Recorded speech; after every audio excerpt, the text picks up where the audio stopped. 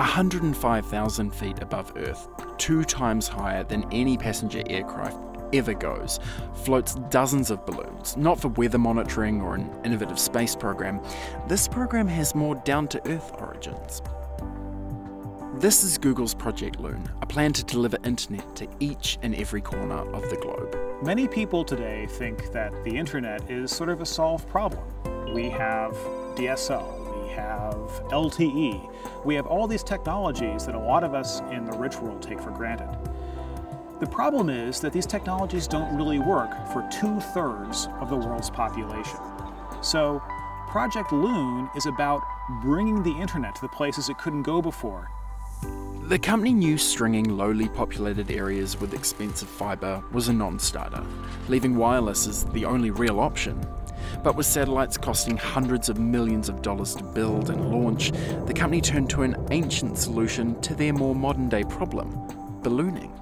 Engineers in the company's X division came up with a plan to launch dozens of balloons, each equipped with their very own LTE cell phone antenna, a battery, and solar power, into the atmosphere. Project Loon works by putting up a whole bunch of small, relatively inexpensive altitude balloons that circle the Earth in a band and beam the internet to the ground.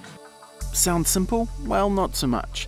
While today's sightseeing balloons travel to around 2,000 feet, Google plans to take existing balloons to all new heights, specifically the stratosphere, an area of the atmosphere some 20 kilometres from the Earth's surface removed from intense weather conditions.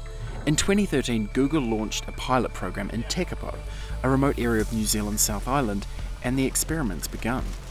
After studying everything from plastic wrap to latex condoms to create balloons strong enough to withstand more than a few days in the air, engineers encountered their next problem how to navigate the balloons where they want them. For Project Loon to work, first of all, we had to think about things in an entirely new way. And then we had to make big advances in the state of ballooning technology. And then we had to make big advances in our ability to plan for a fleet of lots and lots of balloons. One, two, three.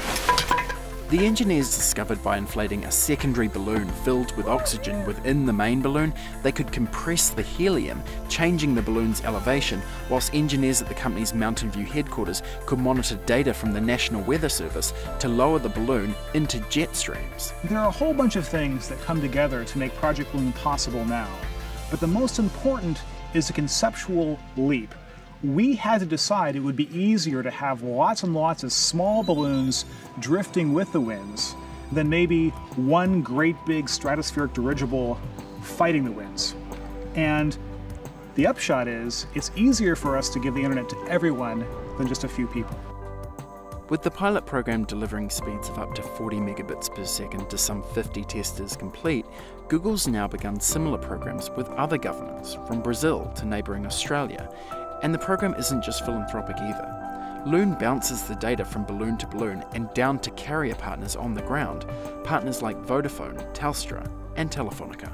Two thirds of the planet isn't connected and can't participate in the conversations we need to have about how to solve the great big pressing problems that are facing our planet today. It will also bring benefits like improved education, improved healthcare, and ultimately bringing people into this great big global conversation about how to solve our really pressing problems.